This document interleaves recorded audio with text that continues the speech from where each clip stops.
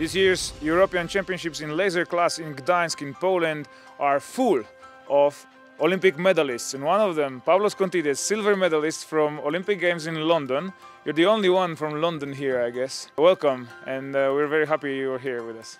Uh, thank you very much. It's, it's a pleasure. Yeah, I'm, uh, I'm the only one. And gold medalist was Tom Slingsby from Australia, and uh, Myrgren Rasmus from Sweden was uh, bronze medalist. Uh, the introduction was not full. Pavlos Kontides from Cyprus. We know that you are superstar in Cyprus. I'm sorry, I'm not starting with the sportive only, but you're the person with your own monument in Cyprus. Is that correct? Yeah, that's correct. I mean, it's a great honor and uh, responsibility on the same time, but uh, a sweet one to have. And uh, people there know me and uh, they expect from me to always do well and uh, I know that I'm not just uh, competing only for myself and uh, my family and my team, but also for uh, all people of Cyprus, and uh, that's a lot of times gives me a lot of motivation, and I'm happy to do that. Well, I didn't have uh, opportunity to be in your place, but I've seen the photo. The monument is absolutely amazing and beautiful. With these expectations, it's very easy to say that you're meeting them or exceeding them. Like next year, after the uh, Olympic medal, you became a world champion. After the Olympic medal in uh, London, I finished second in the world in. uh, Second. yeah, yeah. Yes. After the Rio Olympic Games, That's I right. became Olympic champion. Yeah. It's a long career with uh, so many years in the top. How do you do this? Everybody says that it's not easy to once you're at the top to stay there, and especially in the laser fleet, that it's uh, very competitive. I'm already 30 years old, but I've been many years in the class, so I've seen the change of uh, generations, people stopping and newcomers coming. But I mean, it's uh, it's really nice that you are in this class, which is so competitive, and always you need to do your best on uh, on a daily basis to be at your best shape, especially on the events that matter. Uh, when you were little Pavlos, little kiddo, have you imagined that your sailing career uh, can go that high? Yeah, I mean, uh, what ignited the fire inside me was uh, 2004 Olympic Games in Athens. I was a spectator for uh, the sailing event, and uh, when I saw that everybody represent not only themselves but uh, their country, somehow that really ignited the fire inside me, and I wanted to participate at the games.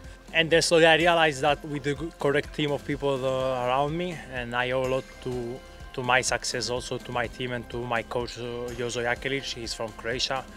He's my coach since I was 16 years old, so 14 years now. He's like a second father to me. And uh, in the team, Tonči Stipanovic, Filip Jurisic, uh, you know, we've been training so so long together, and uh, we have really special bond also as, as friends. And uh, I mean, uh, this friendship will carry on also after we stop our career, and that's I think it's uh, really special. Uh, we had the opportunity and pleasure to question Tonči Stipanovic, and he was mentioning a lot uh, benefits of sailing in this good group. I understand you spend most of the time in Split, right? Yeah, or in Split, or we train uh, elsewhere with some uh, preparation, come uh, somewhere else for a major championship, the Worlds or Europeans or uh, Olympic Games, and of course we travel a lot to compete. But this year uh, it was uh, completely different for all of us, not what we, used to be. Due to Corona situation, a lot of lockdowns, quarantines, not much traveling, not much competition but it is what it is and we need to adapt and it's a big challenge for not just for sportmen but for everybody And where have you been when uh, all the lockdown started? Where it caught you? Most of the people were. I was in Croatia. I in was I was in Split. Actually, since first of March, I was uh, almost all the time Split, uh, except two weeks. I managed to go home in the end of June, and uh, that was it. Uh, we were supposed to do Palma near like uh, everybody else, but I stayed there for a long time. So you did not on purpose go to Palma because most of the people, like I think 80% of world fleet, was caught in Mallorca. And I remember the the, the moment when uh, the informations were spreading so randomly. Actually, eventually within like two days, the island got empty of sailors. Did you just resign from going there, or you were just lucky not to travel? I mean, our schedule was uh, having us to go there quite late, just a bit uh, before the racing begins of Princess Sofia Trophy, and all this mess uh, happened before. So we were lucky that we were not caught to be there, and uh, yeah, that was the lucky part from us. So, and because usually I'm bit late to book uh, air tickets and these, sometimes they get more expensive. But this time I was lucky; I didn't have to hassle with the mess of refunds and if you will get some or no, or rescheduling of flights. So that was good.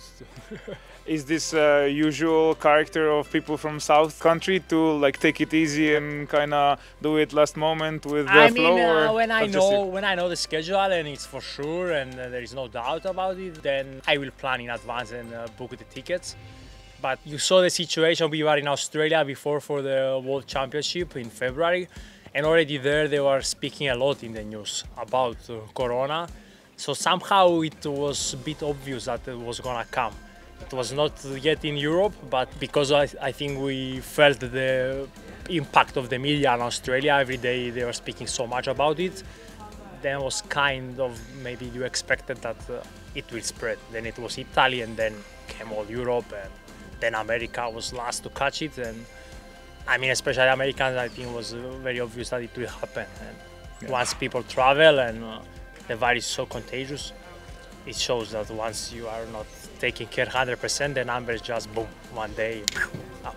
And then eventually we have a postponement of Olympic Games. Uh, did it somehow impact your life plans? We all passed through this strange phase when uh, events start being cancelled and uh, nobody knew what will happen. So you needed to keep uh, focus and, and train just in case because you know, it could easily been that they didn't postpone it. I think it was the right uh, call since a lot of athletes uh, they were in different stages lockdown some they were out of lockdown so it was not like fair for everyone and a lot of uncertainty to where the qualifications will be and all these uh, things now i think it seems that they will go with the games and we should be having in our mind that the games will uh, happen and be as ready as possible you know, this is uh, to be after five years not four and uh, since of the delay. But as a sport top level athlete you should focus and expect that the games will happen. And if on the last moment things go bad then okay you did your best. There's nothing you can do about it. It's not it's not our call if olympic games will uh, be held or not And would you share your plans for after the hopefully 2021 Olympics? Are you staying racy? Yeah, I mean, I always like to see things as an Olympic cycle every four years. Now it will be five. I like to be fully committed. So I would like to finish uh, the Tokyo Games and uh, and see how things are. But then it's But- only three.